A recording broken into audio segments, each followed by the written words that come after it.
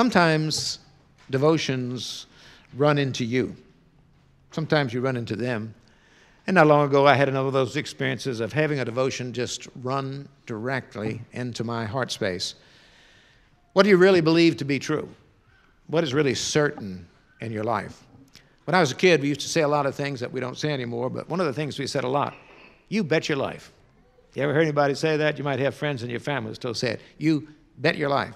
Question What is it in your life, in my life, that you can bet your life on? I mean, no strings attached. You can bet your life on. I'm going to share a little bit of my own witness with you, and you can put together yours. You need to. But what is certain in an uncertain world? What can you bet your life on? The first thing is God is. God exists. There are lots of questions, there are a lot of doubts. There are lots of misunderstandings. Just this last week, I had to say to somebody, uh, Why is it that God did this? And I said, I don't know. I don't know the answer to why. It's the how can I deal with it where I find God helpful. I think we're all in that sort of circumstance. We, not long ago, we told the story here across the years, but we had a girl that went off to college and she lived in one of the little houses here, little, one of the little shanties.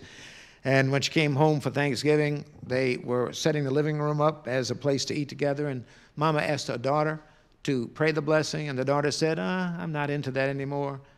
You know, I've been off to college and I'm sort of away from all that stuff. And the mama said, Honey, will you please do the blessing? Uh, we're all ready to eat and we're hungry. And she said, Mom, I'm not doing that anymore. And the mama said, Honey, in this world, there is still God. Now pray. And the daughter said, Let's pray. Now, it's kind of a sweet story, and the truth is, it's not going to change somebody who's really looking for the truth. But what I find about a conviction that God exists is that it satisfies more intellectual needs than any other option.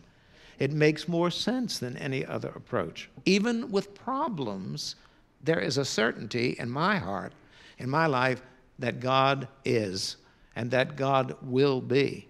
And for that, all I can do is say, Thanks be to God. The second thing that I believe is absolutely certain is this that life is grace, that life is gift, that all life is nothing in the world but grace. Did you ever stop to think about it? What do you have that you have not been given? Now, a lot of people will say, Well, I'm a self made person. I got out there and I hustled and I made money and I made a name for myself, and all that stuff is great. But where did you get the life that hustled and made money? It's all gift, I'm telling you. It's all grace. And I'm absolutely certain that if life is gift and if life is grace, then the best thing that we can do is to say, let's say thank you, God, and see what we can do with it. Which leads me to another certainty and that is that there are no, in, there are no moments in life that are incidental. No incidental moments in life. Every moment is a key moment. This morning when I woke up, I realized that I wasn't coughing as bad as I had been coughing. And so I said, Thank you, God, for a night's sleep and for a morning without coughing. Now, to somebody who hadn't uh, been in a situation like that, that may not be very meaningful, but it's an honest response to a moment with a capital M or a key moment. Now, sometimes those are moments like this. I can remember distinctly standing at the altar with dear Pat and promising our life and love together. And I can remember at her funeral the bishop raising her hands in praise and adoration to God as she began to consecrate the sacrament. Moments, moments alive.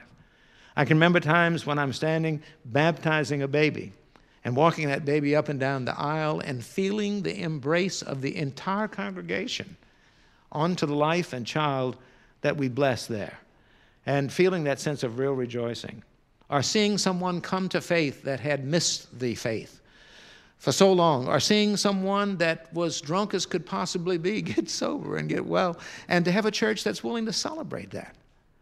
To say, we're going to clap when you have won a victory or when you've overcome a difficulty. There are no incidental moments. It is a certainty that every moment given to us is an opportunity for us to respond in some positive way, I would hope and pray, in some Christ like way, as we continue to do our living. Then, something else I believe to be absolute and certain and true, and that is that love is real and that love continues. That love is stronger than death. That love is the center of what makes life worth living. And that love is not just a romantic feeling, we've talked about it so many times, but love is actually involving yourself for the good of another person. And that love is that willingness on your part to sacrifice something of who you are in order that the other person might be better. When that happens, it's great. When that fails to happen, it's tragic. But the truth is that there is love, and it really is real. I remember that story of the woman that had such bad Alzheimer's and won the national poetry contest for her particular state and was supposed to read her poem, and she couldn't do it, and her husband did it for her. And after he had read it for her on her behalf, because she couldn't read her own poetry, she said, This dreadful disease has taken away everything. But there's one thing I do remember I do remember love. I love that.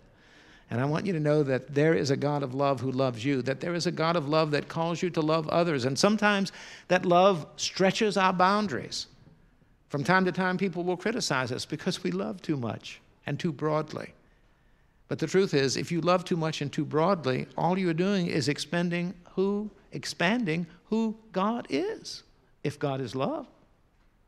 And so to be able to love a broken world, to be able to love a needy person, to be able to love someone who is like you, to be able to love someone who is not like you, is one of the great certainties that you and I have an option to practice.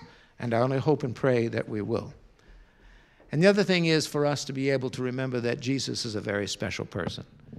That there is so much more to Jesus than we understand. There's something very special about Jesus. I love to repeat it because one of the kids in my philosophy class at Millsaps long years ago during the class asked me, he said, You're a preacher, aren't you? And I said, Yeah. And he said, What's so special about Jesus? In one of those sarcastic ways, you know. And what I didn't expect was to meet him on the campus after that and for him to say to me, I wasn't kidding. I mean, I really was serious because I believe in God.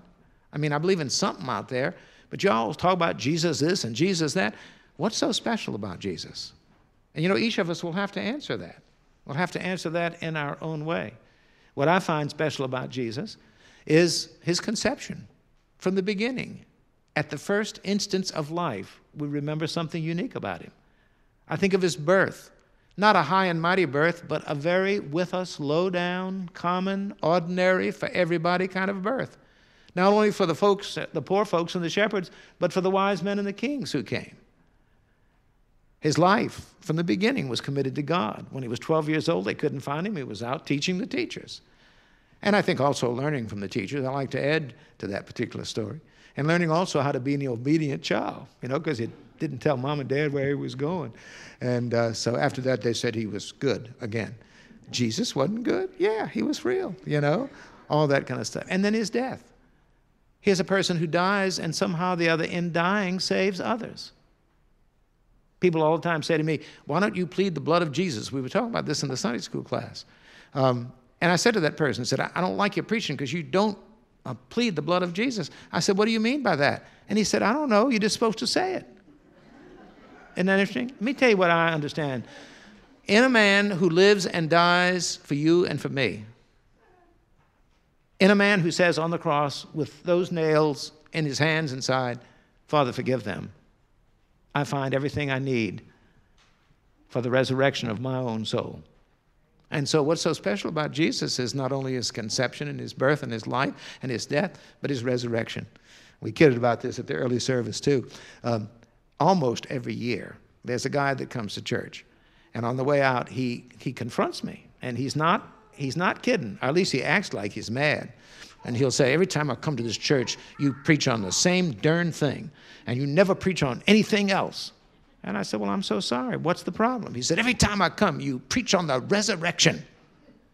And I said, Well, come sometime other than Easter.